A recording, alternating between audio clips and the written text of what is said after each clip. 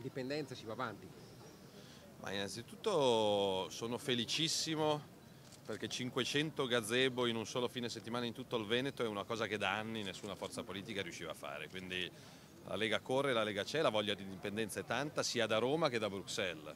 Da Bruxelles perché fuori dall'euro riparte la speranza, riparte il lavoro, ripartono gli stipendi, da Roma perché l'Italia è uno Stato sostanzialmente ormai fallito, stiamo litigando sul salva Roma, la capitale di questo Stato se non raccatta 500 milioni dichiara fallimento, eh, quindi il Veneto merita di più, ogni anno il Veneto lo documentiamo regala 21 miliardi di euro allo Stato italiano avendo in cambio servizi da poco e niente, quindi la voglia di indipendenza mi sembra assolutamente fondata. Ecco. Fuori dall'euro, ha detto il segretario, qui a Verona il sindaco la pensa un po' diversamente. Io ritengo, io ritengo, sette premi Nobel ritengono che l'euro sia una vaccata, che non sta né in cielo né in terra, che tiene insieme economie, storie e culture diverse, ci hanno guadagnato i tedeschi, le banche, le multinazionali, ci hanno smenato gli imprenditori, le partite IVA, gli artigiani, gli esodati e, e, e gli agricoltori. E quindi siccome noi vogliamo poter lavorare in casa nostra come siamo abituati a fare da secoli, eh, vogliamo riprenderci anche il controllo della moneta. È difficile, Flavio Tosi dice che è difficile, ha ragione, però non siamo soli, a differenza del passato siamo soli in Italia a dire, questa, a dire fuori dall'euro, ma in Europa siamo con la Le Pen, siamo con gli austriaci, con gli olandesi, con i fiamminghi, con gli svedesi, con gli inglesi, quindi c'è l'alternativa per un'altra Europa fondata sulle monete, sulle tradizioni, sul lavoro e non sulle banche, quindi è una battaglia difficile ma noi la vogliamo vincere. Salvini il governo Renzi, lei cosa dice a chi sostiene che è l'ultima chance per l'Italia altrimenti rischiamo di fare la fine dell'Ucraina o di simili?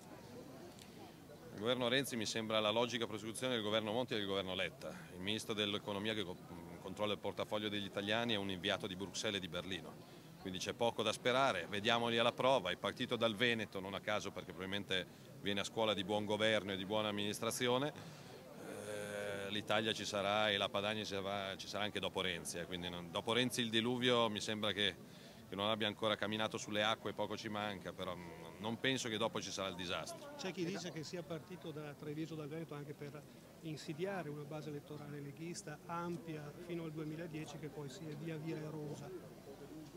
Io spero che uno che fa il Presidente del Consiglio con tutti i problemi che ci sono in Italia non abbia tempo da perdere per fare campagna elettorale. Treviso ha bisogno di risposte, Treviso ha scelto di girare a sinistra dopo tanti anni di Lega e mi sembra che molti se ne stiano pentendo dopo pochi, dopo pochi mesi di amministrazione. Noi siamo qua con le nostre proposte, ripeto, siamo essere in 500 piazze in un fine settimana con numeri, proposte, una proposta forte come quella sull'indipendenza penso che a Roma debbano pensarci bene e debbano darci delle risposte. È una proposta che si differenzia però dal plebiscito digitale di questi giorni? Tutto quello che va verso l'indipendenza e l'autonomia è il benvenuto, noi non siamo schizzinosi quindi sosteniamo qualsiasi richiesta plebiscitaria o meno che coinvolga i cittadini veneti. È da tempo però che in regione la questione dell'indipendenza è ferma, come mai?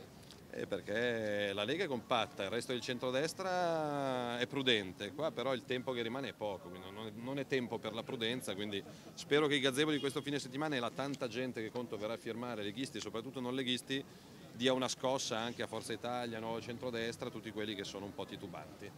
Segretario, fino a che punto sono compatibili le, idee diverse che avete sull'euro tra lei e Tosi all'interno della Lega? Sono assolutamente compatibili, l'analisi sui disastri dell'euro è comune. Abbiamo fatto un congresso che ha scelto che la linea della Lega è quella che dice fuori dall'euro si riparte, questa è la linea della Lega, poi il bello della Lega è che si confrontano opinioni diverse su tanti temi diversi, però. ma gli stessi economisti sul dopo euro sono divisi. Eh, tutti sono uniti e anch'io e Tosi nel dire che questo euro così com'è è la morte del Veneto, del, del, ma dell'Italia intera. Segretario cosa si aspetta da questa fine settimana di gazebo? Ma è già un successo ancora prima di cominciare, ripeto, io ricordo il sito firmaindipendenza.org perché sfido qualunque altra forza politica, sindacale, associativa eh, in Veneto in un fine settimana a essere in 500 piazze, quindi vuol dire migliaia di militanti che si mobilitano e vuol dire una bella scossa, ripeto, a un, a un dibattito come quello sull'indipendenza che ogni tanto si ferma perché non tutti ci credono mentre noi ci crediamo. E poi, segretario, cosa succederà?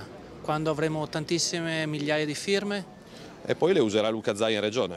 Eh, Zai è il governatore più apprezzato d'Italia, stando alle statistiche, adesso contiamo di dargli forza, queste sono firme che servono ai Veneti e a Zaia per, per sfondare il muro. Ripeto, a Roma stanno dibattendo il salva Roma, il Veneto si salva da solo senza decreti strani. Salva Roma, salva Napoli e via via così. È un certo tipo di Italia che è finita, che è finita.